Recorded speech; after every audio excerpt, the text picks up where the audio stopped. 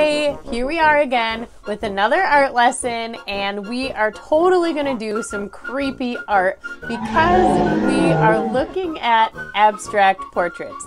But before we get started, I wanna hit you up with our art motto because we use this in each and every one of our classes. So, here we go. I'm always to ask that you try your best, be creative, and problem solve. In this lesson, we're going to need a lot of problem solving and creativity because we're going to be abstracting some portraits. Now, in this case, abstracting means we are going to take a loose interpretation of realistic art and turn it into something that's a little more focused on shapes and colors. Before we get started with anything, we're going to create different noses, ears, eyes, and mouths for our project. I created a couple of sample sheets. This is my nose sheet. And then we've got some crazy mouths and my favorite, eyes and some ears. What I want you to notice is that we're taking the concept of an eye and really playing with different shapes and lines and things to make it look completely different. For example, I've never seen an eye quite like this. Now we're going to be using our organic shapes today. Organic shapes are those made up shapes that are kind of usually found in nature, uh, but in this case, we're just making up shapes as we go. So I hope you will enjoy this project. Let's get going as we use some of these wild organic shapes to create some spooky, creepy, abstracted portraits. So let's get going. Today in art, we will learn how to create abstract portraits using emphasis. We will do this by using organic shapes to create an abstracted portrait. We'll focus on our subject's distinguishing features we will use colors and patterns and lines creatively. Have fun with this. This is such a fun project. I almost forgot. One of the things that we are going to focus on this week is emphasis. Emphasis is that thing that points to or stands out most on your page. So this week, we are going to be doing these abstract portraits, and I chose my subject of doing um, some celebrities that I really liked. So this is my version of Zendaya. And one of her prominent features or most distinguishing features is that she has a very specific face shape and all of that lovely hair. She also has some big, beautiful eyes. So I really wanted to focus on those features for her and make them stand out. The next one is Oh, yeah, who can forget Steve Carell or Michael Scott from The Office? He has a very prominent nose, and I really wanted to make sure that my viewers honed in on that and saw it front and central. So that is why I focused mainly on his shape of his nose. The next one is, oh, my favorite, Dan Levy. Now, he is known for having this great head of hair and also kind of a very long face. So I portrayed his distinguishing figures in that way. Now, I hope you can work on focusing on your characters or your subject's main and prominent features and make them stand out visibly on your page. So now let's really get going. Okay. I created a bunch of reference sheets to help me out so I could get my creative brain working.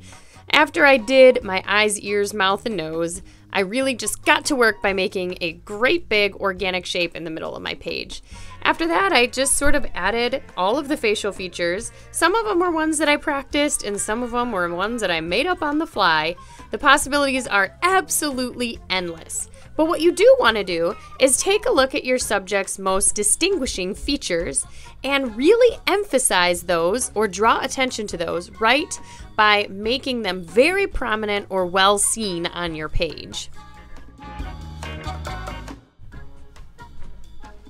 Once I had my drawing just the way I liked it, I did some outlining and then I started with color.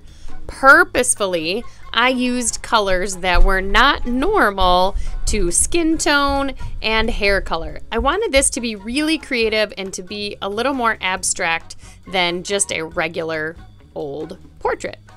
Moving on to my next subject, again, I really tried to emphasize uh, the features of Dan Levy and his hair and his long face. And, you know, I really had fun with this one, and he kind of has like a Frankenstein's monster sort of look to him. Just let your creativity run with this, have a good time, and use those organic shapes all over your page. Try eyes shooting out at different angles, things that are you know, not matching on the face make the, your abstract portraits really, really interesting. Don't worry about being symmetrical or even realistic at all. Just have some fun.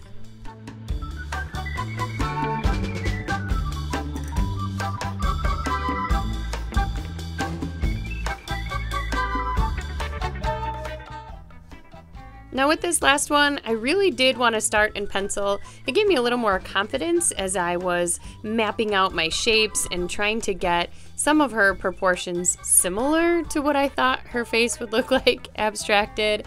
Um, I think Zendaya is absolutely beautiful and I really just wanted to capture some interesting details on her face. I think this one is my favorite because it turned out so big and beautiful with all the luscious hair at the end and so many organic shapes. I feel like my eye travels all around the page for this one. So I hope you enjoy this project and just see what kind of fun characteristics pop out on the page using your organic shapes.